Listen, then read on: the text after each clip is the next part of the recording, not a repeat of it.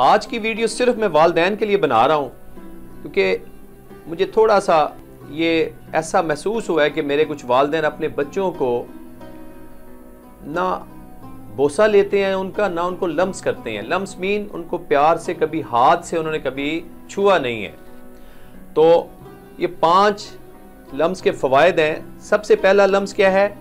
अपने हाथ को उनके सर के पीछे शफकत से फेरना। इससे क्या होगा? इससे आपका बेटा और बेटी ये महसूस करेंगे कि आप उन पर मेहरबान हैं। दूसरा लम्स, बालों को, ये जो बाल है ना, इस सर के ऊपर हाथ रखना, इससे वो क्या महसूस करेंगे? इससे वो फख्र का छूना कहते हैं इसको, फख्र महसूस करेंगे बच्चे। तीसरा लम्स, अपना हाथ उनके माथे पर रखना। और बच्चों में ये मुस्बत तवानाई मुहैया होती है। जब आप माथे पे उनके ये हाथ रखते हैं, मस करते हैं, लम्स करते हैं तो इससे उनको मुस्बत तवानाई मिलती है। चौथा लम्स, अपने हाथों को उनकी गालों पर रखना। चूमना नहीं, किस नहीं करनी, सिर्फ़ हाथों को उनके रुखसारों पर रखना। इससे प्यार और लम, प्यार और ये नरमी का लम्स है।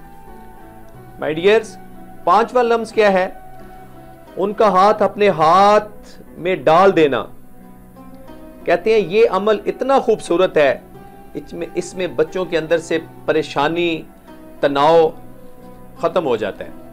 और आखिर में मैं एक बड़ी इंपॉर्टेंट बात करने जा रहा हूँ। ऐसे बच्चे जो अग्रेसिव हैं, गुस्से में रहते हैं, वालदेन से मेरी रिक्वेस्ट है कि उनके सीने पर ऐसे हाथ फेरें, शैतान उनसे दूर हो जाएगा। उम्मीद है कि ये मेरी छोटी सी एफर्ट तमाम वालदेन के लिए कि अपने बच्चों को मस करें, लम्स करें, इसके फिर असरात आप देखिएगा। अपना बहुत ख्याल रखिएगा। वसलाम